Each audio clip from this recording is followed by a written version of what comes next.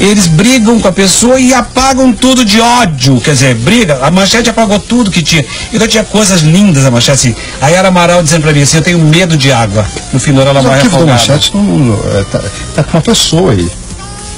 O arquivo da, da O manchete. que, com o Quércia? Não, não. Tá, eu não Com Hamilton, o nome da com, com pessoa. Hamilton, com coisa? com Não, não tá. Jaquito? Não tá com Bom, enfim. As minhas eu não, eu, eu, eu não achei nada. Eu procurei, e, porque eu precisei para levar uma coisa para a Europa e tal, e enfim, não tinha.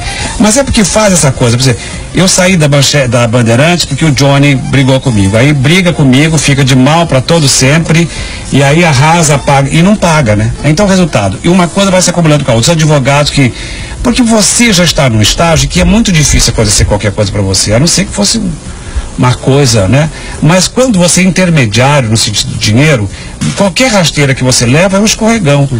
Não que me faça falta nada, o que me faz falta é minha pele linda, minha qualidade de vida, meu organismo, minha saúde e o meu talento, que isso ninguém toma. Deus me deu e ele vai levar para a cova. Ninguém me toma nada. Bobagem um ser humano pensar que está tomando alguma coisa de alguém. Isso é idiotice. Nós estamos aqui para ajudarmos os outros a fazerem alguma coisa, e não para tomar nada de ninguém. Mas isso é uma escola difícil de aprender. Agora, isso tudo, eu sou assim, mas eu sou uma pessoa de um caráter muito difícil, porque eu mando para a PQP em dois tempos. Desde que a pessoa me incomode. Se ela não me incomodar, porque eu, achando, eu não consigo entender. Exemplo, Pergunte para os meus empregados se eu grito com eles. Eu não grito, eu peço tudo por Você favor. ainda tá na CNT. Não, eu entrei, acabei de entrar na CNT agora. Sei. E o programa vai indo Porque eu muito vi bem. você com a Gabi, você na, na Gabi, falou assim, olha, porque também na CNT, se... eu falei, "Ih, será que ele tá brigando assim? Não, eu, não briguei, eu nunca briguei em lugar nenhum. Até a história. Os, a família Martinez, por exemplo, que são os donos da CNT. Eu tive verdadeira paixão pelo Zé Carlos Martinez. Um dia eu descobri que ele não gostava de mim. Depois, muito, eu não, não- eu não obrigo ninguém a gostar de mim. Então, eu simplesmente trabalho para eles, mas agora eu quero ser um funcionário, porque eu não quero ter um patrão que eu não acredito na amizade dele. Então, eu prefiro ser um profissional, eu vou, faço meu trabalho com a mesma dignidade, mas o que eu estou contando, isso, no que, que isso desmerece a família, criatura de Deus? Nada. Eu não sou puxa-saco. Agora, tem gente que adora babar ovo, fica lambendo o saco do patrão o tempo inteiro e baba aquele ovo, para fazer o que com aquilo? Eu não tenho temperamento, eu não sou assim, não vai. Agora, não falo coisas. não. Ele disse isso, mentira, porque se eu disser alguma coisa, eu digo no olho, porque eu sou homem suficiente para dizer para qualquer pessoa que. não- Porque eu fui criado assim. Eu não, eu tô entrevistado, eu sou entrevistado por você de olho, no olho. Eu não tenho, sabe, eu não tenho nada para esconder, essa coisa que procura Qual é o mentiras. signo? Gêmeos. Geminiano, é assim? É? Eu queria ser virgem, mas não consegui ficar até hoje. então. Mas vamos continuar mostrando a casa. Isso aqui eu construí para ela, porque antigamente a casa terminava aqui e nós entrávamos por essa porta. Nós tínhamos visão para. Porque aqui era uma passagem antigamente, né? Mas como não é loteamento, não é nada, e esse sujeito aqui do lado me incomodava muito. Por 15 anos de martiré, porque essa coisa do judeu, se você quiser que uma pessoa sofra, deseja ele um, ju- um, um juiz, um, ju- um vizinho maldito. E eu tive o pior de todos os vizinhos. Aquele incômodo que aquele. Sabe aquele tipo? Digamos que eu quisesse ser teu amigo, tá? E você não quisesse por uma questão, por vários motivos, não porque você seja mais que eu nem nada. E eu insistisse e ficasse com ódio que você não quer minha amizade. Você me respeita profundamente, mas eu não consigo entrar na sua intimidade. Porque as pessoas confundem, esse tipo de gente confunde promiscuidade com amizade.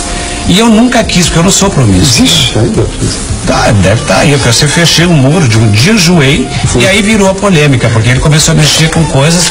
Agora abri a estrada para lá, paguei uma fábula para arrumar a estrada para ele, aí tem a entrada dele, independente, mas eu não quero a criatura passando por aqui. Ah, passava aqui no meio da tua Passava na frente da minha Ah. casa e me dizia impropérios e trazia tudo que ele achava na rua, ele trazia, ele enchia a caminhonete. Era, hoje em dia dizem que ele não bebe mais, era bêbado, doente, quer dizer, sabe aquela coisa? Mas eu vou te contar por quê, porque as pessoas precisam saber. Eu- ah, o Clodovil, não. Eu não quero essa coisa de amizade dele por uma razão, porque um dia eu fui buscar a mãe dele lá que ele estava batendo na mãe. Infelizmente, a pessoa que seria testemunha disso morreu porque morreu lá dentro. Quer dizer, é uma história complicada, tudo que eu prefiro nem entrar Você, acha bom falar isso? eu acho ótimo falar isso. Ele vai ver o programa E daí, isso é problema aborrecido dele. com você. Não, mas ele vai aborrecido comigo, mais do que ele me aborrece, que de Deus, eu não faço nada pra ele, eu só conto. Mas eu não ando atrás de ninguém pra prejudicá-lo, ao contrário. Eu só digo o que ele é. Eu não faço mal a ele. Eu estou dizendo, e veja bem, eu não sou nem um imbecil de achar que eu tenho razão. Já aprendi, eu sou uma pessoa religiosa, aprendi. Lado bom de briga ruim não existe. Esse é o meu ponto de vista. Se ele respeitasse o meu, como eu respeito dele, eu não teria que contar nada disso. Você está entendendo? Porque, por exemplo, o que, que acontece nessas brigas das favelas e mortes e tudo? Porque a mulher, quando o marido chega, ela resolve contar, fulano olhou pra minha bunda, aí o cara vai lá tirar satisfação, aí mata todo mundo e ela acha que não fez nada. Mas não é bem assim.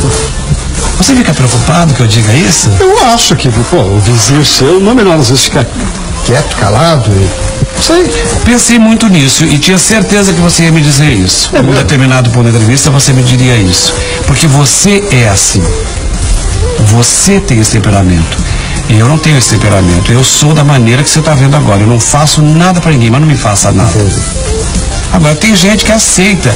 Eu entendo tudo isso que eu acabei de dizer para você. Você está pensando que eu tenho que eu, que eu estou dizendo? Eu tenho razão? Não. Eu acabei de dizer que não tenho razão. Certo. Eu só quero que respeite o meu ponto de vista e quero viver com, os- com as pessoas que eu quero, da maneira que eu quero, porque eu nunca fui incomodado. E eu posso dizer a você que a única vez que eu fui àquela casa foi o dia que eu fui buscar a mãe dele.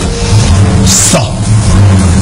Nunca tinha ido, nunca fui e não quero ir, porque eu sou assim, o que, que eu vou fazer? Não dá pra mudar. Deixa, não, deixa eu mostrar onde a mamãe ficava. A mamãe ficava aqui. Colocava a regatinha dela em cima, as coisas que eram dela, foram as poucas coisas que sobraram da mamãe quando ela morreu. Esse foi, porque ela veio uma pessoa muito simples, né?